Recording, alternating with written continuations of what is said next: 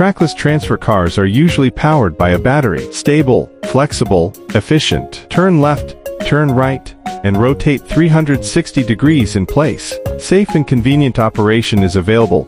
Wired connection and wireless control. You can also assemble a PLC system for fully automated operation. Intelligent charging system one charging all day long.